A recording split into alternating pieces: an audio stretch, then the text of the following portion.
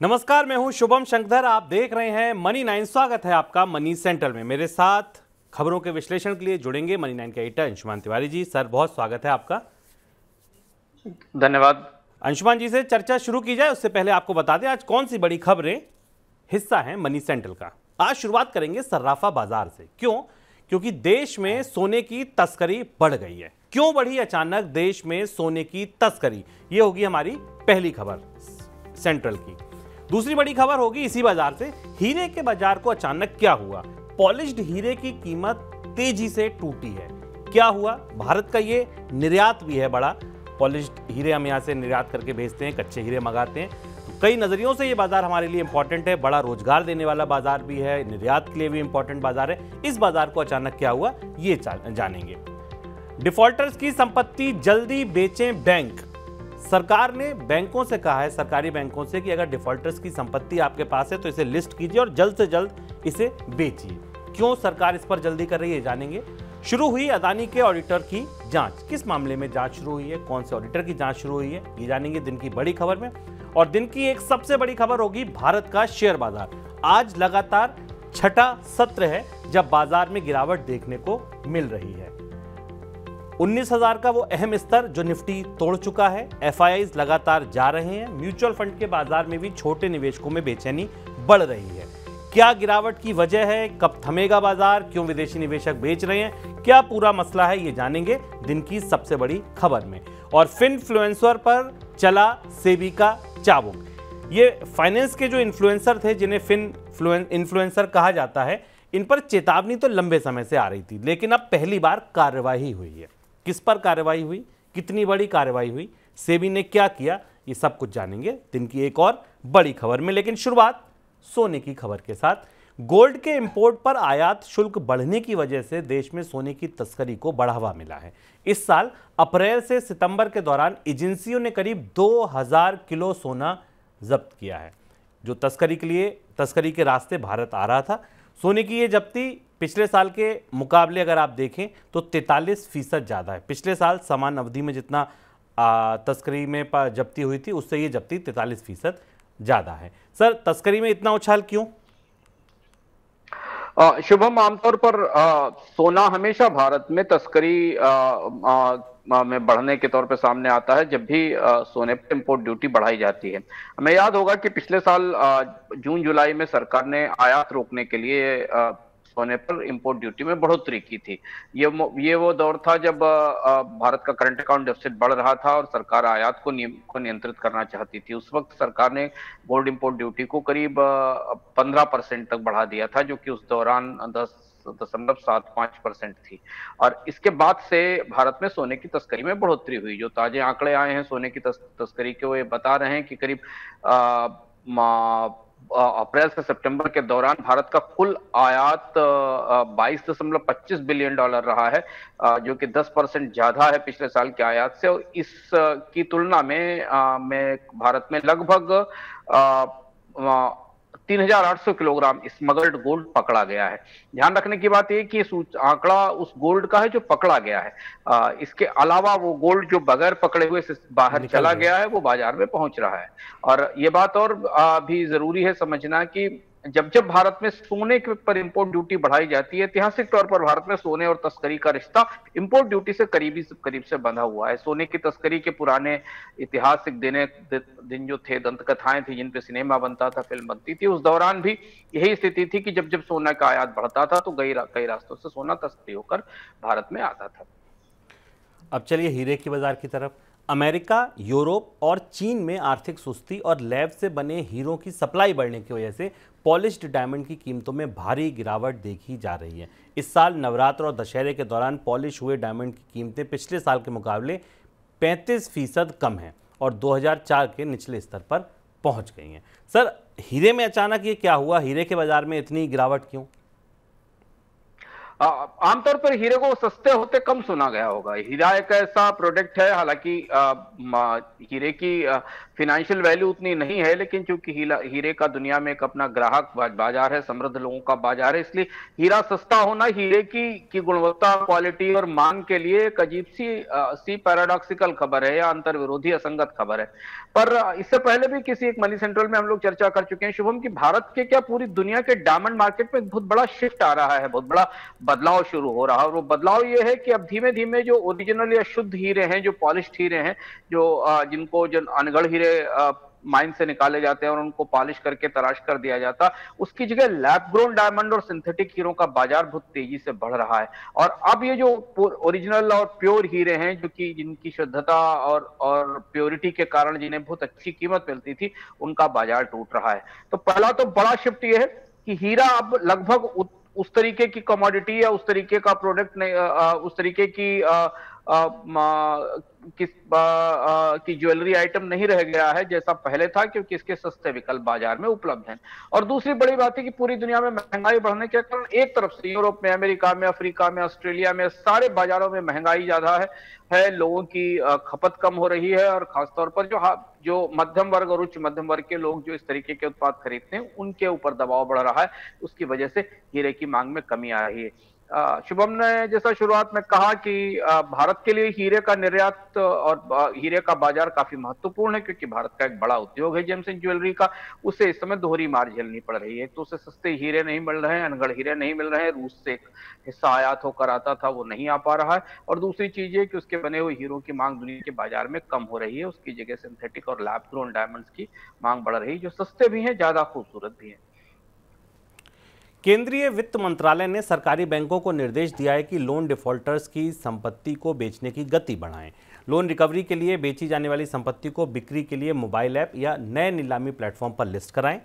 देश भर में सरकारी बैंकों की करीब पाँच लाख संपत्तियाँ हैं जो लोन डिफॉल्टर्स से जब्त की गई थी। अब वित्त मंत्रालय बैंकों को उन सभी संपत्तियों को बेचने की गति बढ़ाने के लिए बोल रहा है।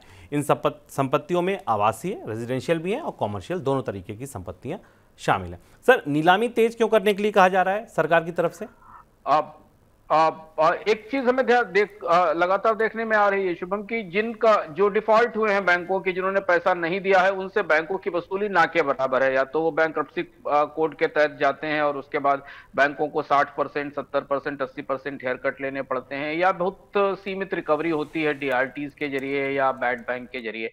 अंततः जो भी विकल्प बचता है बैंकों के पास वो ये है कि जो उन्होंने डिफॉल्टर्स की संपत्ति कुर्ब की है जब्त की है एसेट एसेट को लिया है उसे बेचा जा सके। और ये ये ये बड़ी बड़ा हिस्सा है भारत में, जो बहुत तेज़ी से बैंकों के पास ऐसी संपत्तियाँ बढ़ रही हैं, जिनके जो डिफॉल्टर से जब्त की गई हैं, उनके कर्ज के बदले। बैंकों ने एक पोर्टल भी बनाया है, उस पोर्टल के तहत संपत्तियाँ बेची भी जा रही हैं, लेकिन सरकार का दबाव बैंकों पर यह है कि जो उपलब्ध हो सके, उसे निकाला जा सके, ताकि थोड़ी तो वसूली दिखाई जा सके। नैतिक रूप से भी ये करना इसलिए ज़रूरी है, क्योंकि सरकार हर छह महीने बाद देश को बताती है, संसद में बताती है कि उसने डिफॉल्टर्स के इतने लोन राइट ऑफ़ कर दिए हैं, इतने लोन को बट्टे खाते में डाल दिया है। इतने कर्ज कर्ज पर बैंकों ने प्रोविजनिंग करके अपने कैपिटल से वो पैसा उसमें डाल दिया है। फिर इन संपत्तियों को बेचने की कोशिशें थोड़ा धीमी गति से चलती हैं। बैंकों की तरफ़ से बार बार सूचनाएँ भी जारी की जाती हैं, अखबारों में विज्ञापन भी आते हैं, पर बिक्री थोड़ी सी सुस्त है क्योंकि ग्राहक मिलना आसान नहीं होता। सरकार ने सरकारी बैंकों से कहा और आरबीआई ने निजी बैंक से। क्या कहा? कि भारतीय रिज़र्व बैंक ने निजी बैंकों के लिए गवर्नेंस के नियम और सख्त कर दिए हैं। बुधवार को आरबीआई ने निजी बैंकों से उनके निदेशक बोर्ड में एमडी और सीईओ समेत कम से कम दो पूर्णकालिक निदेशकों की मौजूदगी को सुनिश्चित करने के लिए कहा है। आरबीआई ने एक सर्कुलर में कहा कि बैंकिंग क्षेत्र की बढ़ती जटिलता और उभरती चुनौतियों से निपटने के लिए बैंक के लिए एक प्रभावी, वरिष्ठ प्रबंधन टीम का गठन होना अनिवार्य है। सर, ऐसा क्यों कर रहा है आरबीआई? बैंकों ने लगातार ये देखा है कि बैंकों के मामले में कई कई बार ये देखा गया है, खासतौर से कई ऐसे प्रमुख बैंक हैं, शुभम, जिनमें होल टाइम डायरेक्टर्स नहीं है, प्राइवेट सेक्टर बैंक बैंक्स में दो तक होल टाइम डायरेक्टर नहीं है Indus Bank, Tamil Nadu, Mercantile, CSB, DCB, Dhanlaxmi, City Union South Indian ऐसे तमाम बैंक और इनकी सब्सिडीज है जहाँ पर प्रोफेशनल मैनेजमेंट का चैलेंज है। और रिज़र्व बैंक पिछले दो साल से प्राइवेट बैंकों के प्रबंधन की समस्याओं से उलझा हुआ है। अलग अलग तरीके से अलग अलग तरीके की समस्याएँ आती हमने कोटक बैंक में एक समस्या आती देखी इससे पहले एस बैंक में एक चुनौती देखी। और इसलिए अब रिज़र्व बैंक को दखल देकर यह कहना पड़ रहा है कि बैंकों विदेशी बैंकों की भारतीय शाखाओं को और निजी बैंकों को अब कम से कम दो होल टाइम डायरेक्टर्स का अपॉइंटमेंट करना होगा ताकि वो बैंक के कामकाज की ज़िम्मेदारी ले सके और उसे प्रॉपरली चला सके। देश में बढ़ती बिजली की मांग को देखते हुए केंद्र सरकार ने आयातित कोयले पर चलने वाले पावर प्लांट्स को अगले साल जून तक पूरी क्षमता के साथ बिजली उत्पादन करने का निर्देश दिया है। अभी तक इन प्लांट्स को 31 अक्टूबर तक पूरी क्षमता के साथ उत्पादन का निर्देश था, लेकिन अब इस आदेश को 9 महीने बढ़ा दिया गया है। सर, क्या मतलब निकाला जाए इस आदेश का कि आप जमकर कोयला आयात कीजिए? हाँ बिल्कुल। और हम दो तीन दिन पहले बात कर चुके हैं कि भारत में कोयले का आयात रिकॉर्ड स्तर से बढ़ा है। और ये आदेश बताता है कि सरकार ने एक तरह से आ, से ये कह दिया है कि उसकी अपनी खदाने कोल इंडिया और रेलवे मिलकर भारतीय स्रोतों से कोयले की ज़रूरत पूरी नहीं कर सकती।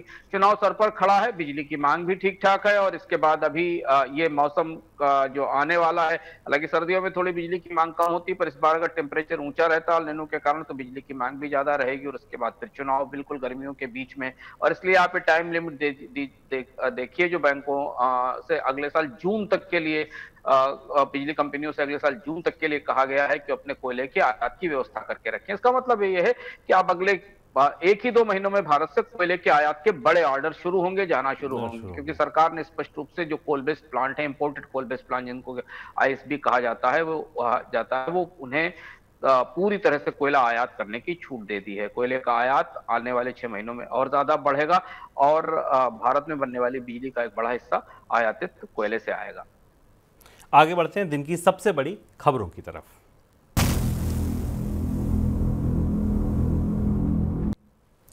देश के अकाउंटिंग रेगुलेटर एनएफआरए ने अदानी ग्रुप से जुड़ी ऑडिटिंग फर्म ईवाई की सदस्य फर्म एसआर बाटली बोई की जाँच शुरू की है। ये जाँच अदानी ग्रुप से जुड़े 2014 के एक मामले में शुरू हुई है। एसआर बाटली बोई नाम की ऑडिटिंग फर्म अदानी ग्रुप की पाँच कंपनियों का ऑडिट का काम करती थी। इस खबर के बाद गुरुवार को शेयर बाज़ार में अदानी ग्रुप की अधिकतर कंपनियों के शेयरों में गिरावट देखने को मिली। सर, एक कौन से मामले की जाँच चल रही है? अडानी समूह की तरफ़ जाँच के अलग अलग शिकंजे बढ़ रहे हैं। इससे पहले कॉपरेटिव अफेयर्स मिनिस्ट्री ने जाँच शुरू की थी। अडानी समूह के निवेश की जो बॉम्बे एयरपोर्ट से रिलेटेड था और एक जाँच सेबी की तरफ़ से अलग से चल रही है। ये मामला 2014 का है। S R Batliboi company है, जो ई वाई ऑडिटर ग्रुप है, उसकी सदस्य फर्म है। और इसने अडानी समूह की को अपनी सेवाएँ दी थी और कंपनी और ये अडानी समूह की जो पाँच लिस्टेड कंपनी थी, उनके स्टेचुरी ऑडिटर थे और इनसे जुड़े हुए बहुत सारे सवाल हैं जिनकी जाँच अब नेशनल ऑडिट रेगुलेटर जो एनएफआरए है वो शुरू कर रहा है। ये पूरा मामला इस मामले की कुछ तार या इसकी कुछ आ, कुछ सूत्र हिंडनबर्ग की रिपोर्ट से भी जुड़ते हैं क्योंकि हिंडनबर्ग समूह ने अपनी रिपोर्ट में जब जब अडानी समूह पर अपनी रिपोर्ट दी थी तो हिंडनबर्ग ने यह भी कहा था कि अडानी समूह के ऑडिटर्स ने कई सारी ज़रूरी सूचनाओं की जानकारी नहीं दी है। बिल्कुल, आगे बढ़ते हैं। भारतीय शेयर बाज़ार की बात करते हैं। आज छठा दिन है, कारोबारी दिन ऐसा, जब भारतीय शेयर बाज़ार में लगातार गिरावट देखने को मिल रही है। निफ्टी अब उन्नीस हज़ार के नीचे आ गया है।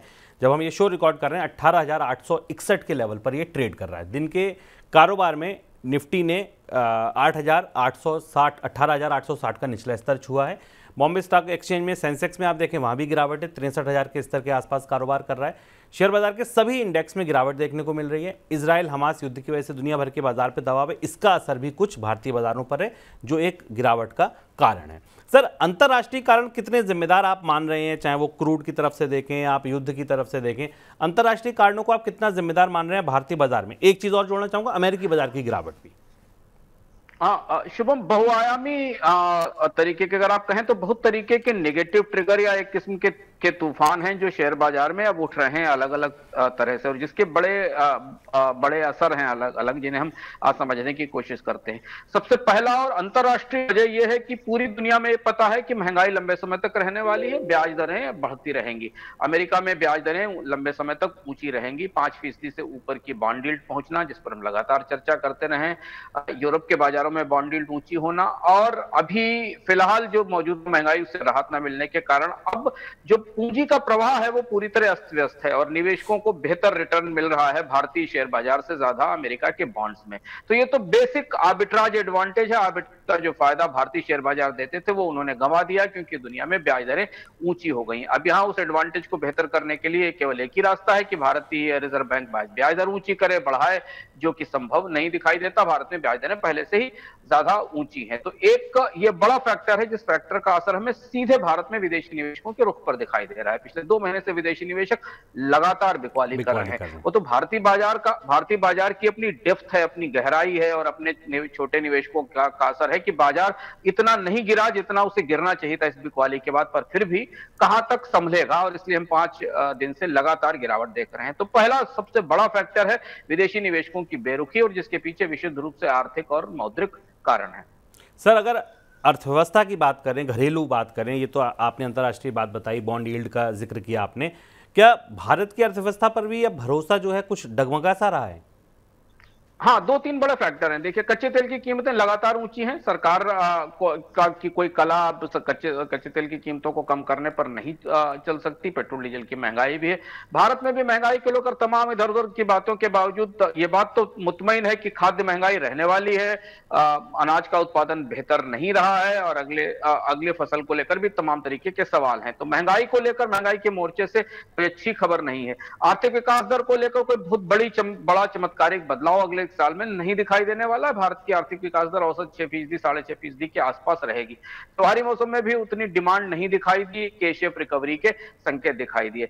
कच्चे तेल की मजबूती विदेशी निवेशकों की निकासी और जो एक महत्वपूर्ण बात जो भीतर छिपी हुई बात भारतीय अर्थव्यवस्था के बारे में जिसे विदेशी निवेशक और शेयर बाज़ार के निवेशक कहते तो नहीं पर करीब से समझते हैं वो रुपए की कमज़ोरी है। ये सारी परिस्थितियाँ भारत की मैक्रो इकोनॉमिक परिस्थिति में या मैक्रो मैक्रो इकोनॉमिक तस्वीर को को ज़्यादा चुनौतीपूर्ण बना रही है। तो ऐसी स्थिति में कुछ खास प्रमुख बड़ी कंपनियाँ हो जिनके जिनके पास जिनमें निवेश के अवसर तो मौजूद है पर ओवरऑल जो मार्केट का मैक्रो इकोनॉमिक सेंटीमेंट है जो जीडीपी और मैक्रो सेंटिमेंट है है वो बाज़ार में तेज़ी के माफिक नहीं दिखाई दे रहा है। और इसका एक पहलू ये भी है कि भारतीय स्टॉक मार्केट अभी हाल में एक तेज़ी से गुजर चुका है, जहाँ वैल्यूएशन भी अच्छे थे तो लोगों को प्रॉफिट बुकिंग का भी चांस मिल रहा है।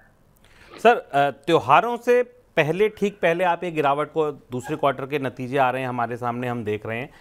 त्योहारी सीज़न में जो अलग अलग तरीके से नंबर आए हैं, वो भी हमारे सामने हैं। अगर आप स्टील के कंजम्पशन का नंबर देखें फ़्लाइट का नंबर देखें महँगाई का नंबर देखें ये तमाम नंबर हमारे सामने त्यौहार से ठीक पहले ये गिरावट क्या संदेश दे रही है, क्या संकेत दे रही है? त्योहार को लेकर मिश्रित तस्वीर है जैसे कि अगर आप ऑटोमोबाइल कंपनियों की तस्वीर देखें तो ऑटोमोबाइल बाज़ार बाज़ार में छोटी कार कारों की मांग नहीं है पर लग्जरी कारों की मांग बढ़ी हुई है। पर जनरली जैसे एफएमसीजी कंपनियों ने कोई बहुत बहुत उत्साहवर्धक डिमांड की बात नहीं कही है।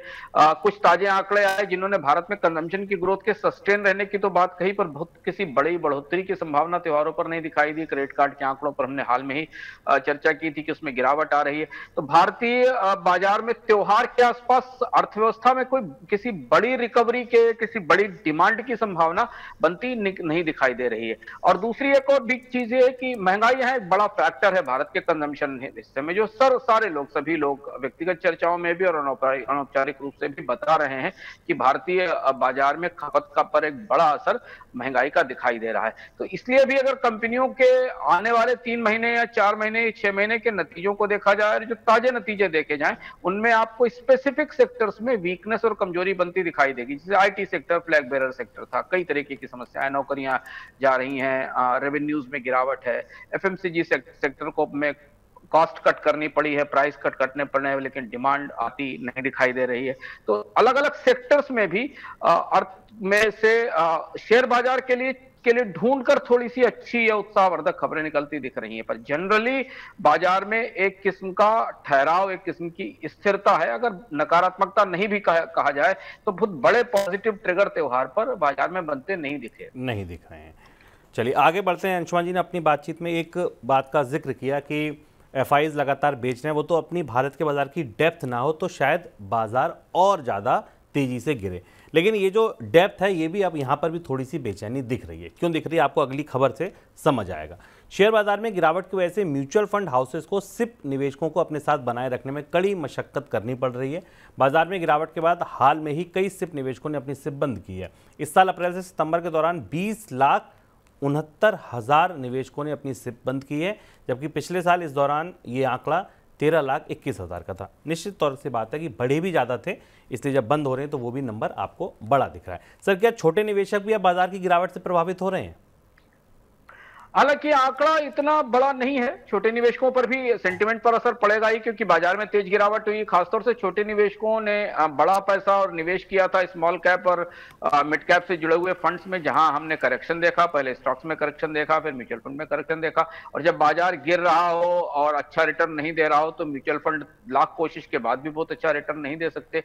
पर एस या या म्यूचुअल फंड लंबे समय का निवेश है, ठहरा हुआ, सधा हुआ धैर्य के साथ किए जाने वाला निवेश है तो इसलिए इसमें तो निवेश बना ही रहना चाहिए, पर इसमें बिकवाली आ रही है। उसकी वजह यह कि बहुत सारे निवेशक म्यूचुअल फंड्स का इस्तेमाल भी क्विक इन्वेस्टमेंट के लिए करते हैं, जो कि स्वाभाविक सी बात है, इसलिए उसमें से निकासी होती दिखाई दे रही है। लेकिन फिर भी भारत म्यूचुअल फंड में एस का नंबर बढ़ा है, लगातार बढ़ रहा है। हमने भी आंकड़ा देखा कि तीन साल के अंदर भारत में यूनिक एस का नंबर दो गुना हो गया। हालाँकि भारत की संभावनाओं, क्षमताओं, बचत के आधार पर एसआईपी और म्यूचुअल फंड का पोर्टफोलियो बहुत ही छोटा है बहुत छोटा है लेकिन फिर भी अब यही वो पोर्टफोलियो है जिसने विदेशी निवेशकों की की बिकवाली के बीच में भारतीय बाज़ार में कोई बड़ी क्रैश नहीं आने दिया। उत्तरोत्तर हम गिरावट देख रहे हैं दैनिक आधार पर, पर अचानक कोई बड़ा गिरा गिरावट या बड़ा क्रैश नहीं आया है। पर यहाँ चुनौती आने वाले समय में छोटे निवेशकों के लिए भी है कि उन्हें धैर्य के साथ चीज़ों को देखना होगा क्योंकि भारतीय बाज़ार में। अब जब विदेशी निवेशक निकलना शुरू करेंगे और रुपए में गिरावट होगी तो रिज़र्व बैंक की चुनौती शुभम काफ़ी बढ़ेगी। इंडोनेशिया को अपनी करेंसी को बचाने के लिए ब्याज दरें बढ़ानी पड़ेगी जबकि इंडोनेशिया में बहुत ज़्यादा महँगाई नहीं थी। तो अगर भारतीय करेंसी में तेज गिरावट आती है तो रिज़र्व बैंक को फिर भी ब्याज दरें बढ़ाने जैसी कोई बड़ा कोई फैसला करना पड़ सकता। ऐसी स्थिति में शेयर बाज़ार में थोड़ा ज़्यादा पैनिक और दबाव या घबराहट जैसी परिस्थिति बन सकती है। लेकिन फ़िलहाल छोटे निवेशकों को को होल्ड करके बने रखना चाहिए। म्यूचुअल फंड लंबे समय का निवेश है और लंबे समय में म्यूचुअल फंड्स के रिटर्न हमेशा बेहतर ही रहते हैं। एक और खबर ज़रूरी। कैपिटल मार्केट रेगुलेटर सेबी ने शेयर खरीदने और बेचने की सलाह देने वालों पर शिकंजा कसा है। बुधवार को सेबी ने शेयर बाज़ार में एक ऐसे व्यक्ति पर प्रतिबंध लगाया है जो खुद को टेक्निकल चार्ट का बाप कहता था। और इसी नाम से सोशल मीडिया पर, यूट्यूब पर उसके हैंडल भी चलते थे। नसीउद्दीन अंसारी नाम का ये व्यक्ति ये भी दावा करता था कि वह सेवी पंजीकृत निवेश सलाहकार नहीं है। खुद ही कहता था कि मैं रजिस्टर्ड निवेशक सलाहकार नहीं हूँ, लेकिन अपने वीडियोस के ज़रिए वह शेयर ट्रेडिंग की क्लास लगाता था। सेवी ने यह भी कहा कि नसीरुद्दीन अंसारी से सत्रह करोड़ रुपये वसूली की जाए। सर, हम लगातार मनी सेंटर में कवर कर रहे हैं। चेतावनी काफ़ी लंबे समय से आ रही थी कि ये जो इन्फ्लुएंसर हैं, इन पर सख्ती की जाएगी की जाएगी। ये नई शुरुआत मानी जाए सेबी की तरफ़ से? हाँ जो लोग ये कार्यक्रम लगातार देखते हैं, मनी सेंट्रल सेंट्रल, उन्हें याद होगा कि हम लगातार अपने अलग अलग कार्यक्रमों में मनी नाइन में आपको बताते रहे कि ये सारी गतिविधियाँ आमतौर पर सही नहीं है, उचित नहीं है और इनमें अंततः पंप एंड डंप जैसा और निवेशकों को बरगलाने और फंसाने की कोशिश की जाती है। सेबी भी स्पष्ट रूप से कह रहा है, मुझे आश्चर्य इस बात पर नहीं कि सेबी ने कार्रवाई की, क्योंकि सेबी के लिए कार्रवाई करना मजबूरी थी, पर सेबी ने कार्रवाई करने में इतना समय क्यों लगाया? अभी हाल फ़िलहाल में कार्यक्रम में सेबी के चेयरमैन ने स्पष्ट रूप से ये बात कही थी खुलकर मंच पर कि ये फिन इन्फ्लुएंसर जो बता रहे हैं, वो उन्हें ये पता है कि वो सच नहीं और सबको जो लोग सुन रहे हैं, उनको भी ये पता है कि सच नहीं है। शेयरों की कीमतें ऐसे नहीं बढ़ती शेयरों में बढ़ोतरी के ऐसे दावे नहीं किए जाते। कोई भी शेयर आपको अचानक रातों रात माला माला करोड़पति बनाने की गारंटी नहीं देता। चार्ट पढ़कर आप शेयर बाज़ार बाज़ार का रुख समझ तो सकते हैं, पर भविष्यवाणियाँ नहीं कर सकते, लेकिन इसके बाद भी कोशिश चल रही है। पर आप ये कह सकते हैं, शुभम, की देर आयद है, दुरुस्त तो नहीं, देर आयद है, पर सेबी ने कार्रवाई शुरू की है तो इससे कम से कम बाकी लोग जो और भी ऐसा काम कर रहे हैं वो उसमें रुकेंगे। और अगर नहीं भी रुकेंगे तो जो लोग शेयर बाज़ार में वीडियो देखकर और टेलीग्राम चैनल देखकर और यूट्यूब में चार्ट की चार्ट की भविष्यवाणियाँ सुनकर स्टॉक खरीदते हैं, उन्हें तो सतर्क हो जाना चाहिए कि कि बाज़ार में क्या हो रहा है और कैसे सेबी सेबी इन लोगों पर किस तरीके की कार्रवाई कर रहा है। सर्च इंजन गूगल की पेरेंट कंपनी अल्फ़ाबेट के शेयरों में बुधवार को भारी गिरावट देखने को मिली। बुधवार को अमेरिकी शेयर बाज़ार में कंपनी का शेयर करीब 10 फ़ीसद टूट गया और उसकी 166 अरब डॉलर से ज़्यादा की वैल्यूएशन साफ़ हो गई। अमेरिकी शेयर बाज़ार में किसी भी कंपनी के शेयर में ये पाँचवीं सबसे बड़ी गिरावट है। माना जा रहा है कि आर्टिफिशियल इंटेलिजेंस के मामले में गूगल की प्रतिद्वंदी कंपनी माइक्रोसॉफ्ट उससे आगे निकल गई है, जिस वजह से अल्फ़ाबेट के शेयरों में ये गिरावट देखने को मिली है। सर, कितनी चुनौतीपूर्ण है ये गिरावट अल्फ़ाबेट के लिए? अल्फ़ाबेट को तगड़ा झटका लगा है। क्लाउड कंप्यूटिंग और एआई के मामले में गूगल को आ, के पेटेंट नेम आ, का पेटेंट खारिज हुआ और माइक्रोसॉफ्ट के पेटेंट को उसमें आगे बढ़त मिली। ये दोनों ऐसे क्षेत्र हैं AI cum AI artificial intelligence और क्लाउड कंप्यूटिंग जिन्हें भविष्य की तकनीकें माना जा रहा है और इसको लेकर माइक्रोसॉफ्ट और गूगल के बीच में तीखी प्रतिस्पर्धा है क्योंकि दोनों टेक्नोलॉजी बाज़ार की बड़ी कंपनियाँ हैं। और माइक्रोसॉफ्ट की अर्निंग रिपोर्ट रिपोर्ट में में क्लाउड यूनिट की में बेहतर बढ़ोतरी के नतीजे हाल फ़िलहाल में सामने आए थे और यह माना जा रहा था कि कि माइक्रोसॉफ्ट की क्लाउड, की की क्लाउड यूनिट बेहतर ढंग से काम करेगी और इसी बीच में ये ये फ़ायदा माइक्रोसॉफ्ट के खाते में गया है, जबकि अल्फ़ाबेट को गूगल की पेरेंट कंपनी को तगड़ा झटका लगा है। आगे बढ़ते हैं, मनी सेंट्रल झटपट की ओर।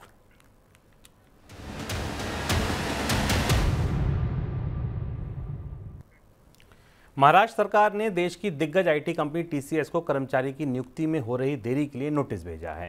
कंपनी ने करीब 200 कर्मचारियों को नियुक्ति के लिए काफ़ी पहले शॉर्टलिस्ट किया हुआ था, लेकिन अभी तक उनको नियुक्ति नहीं दी गई है। कर्मचारियों की नियुक्ति में हो रही देरी की वजह से आईटी कर्मचारी संगठन ने कंपनी के खिलाफ शिकायत की थी, जिसके बाद सरकार ने कंपनी को नोटिस भेजा। अपनी तरीके का पहला मामला है कि प्राइवेट कंपनी को सरकार नोटिस भेज रही है कि आप लोगों को क्यों नहीं रख रहे हैं।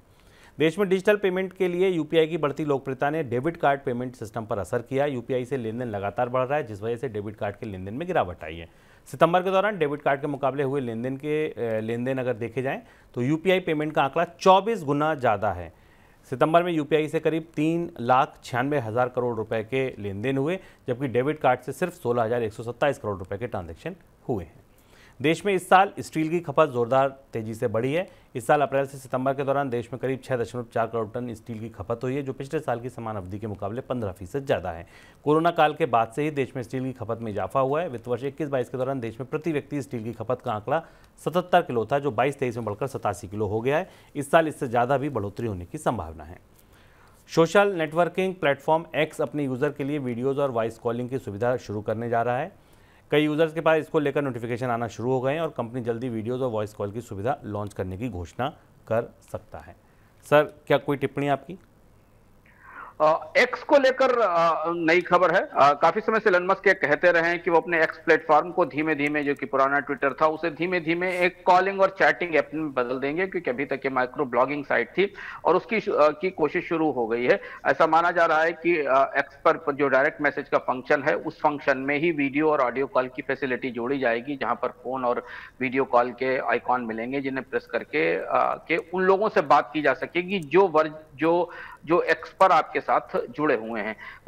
ट्विटर यानी पुराना ट्विटर और एक्स आज का एक्स एलन मस्क के लिए मुनाफे के लिहाज से काफ़ी बड़ी चुनौती बन गया है और ये बड़ी कोशिश मानी जा रही है। और इसके बाद एक्स कुछ कुछ व्हाट्सएप सिग्नल या टेलीग्राम जैसी सर्विसेज़ भी देना शुरू कर देगा। उसकी, उस बाज़ार में भी पहुँच जाएगा। देखते हैं कि ये कोशिश पहले से ही काफ़ी काफ़ी भीड़ भरा बाज़ार है है चैट एप्स का और वीडियो कॉलिंग और वॉइस कॉलिंग एप्स का इनके बीच में कैसे जगह बना पाता है? कर पाता कर पाता है। सर बहुत शुक्रिया शो में जुड़ने के लिए। आप लोगों का भी शुक्रिया मनी सेंट्रल देखने के लिए। कल फिर आएँगे नया संस्करण लेके लिए। आप बने रहिए मनी नाइन के साथ। नमस्कार।